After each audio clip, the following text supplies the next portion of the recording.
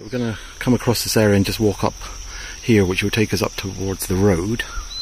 Um, there's a few things here which probably hard to show you, but this tree here, you see the top of it there. Um, this is a areca nut uh, tree, and you can't really see it but in that little bunch below the uh, leaves there. There's actually some areca nuts which we do harvest and and sell. And over here, actually here is this is actually vanilla growing up in the shade.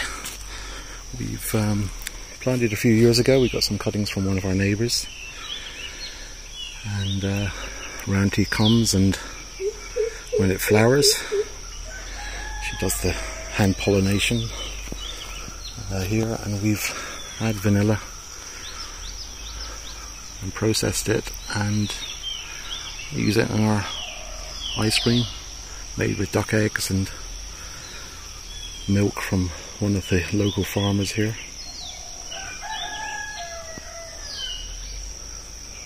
But yeah, that's vanilla. No flowers at the moment.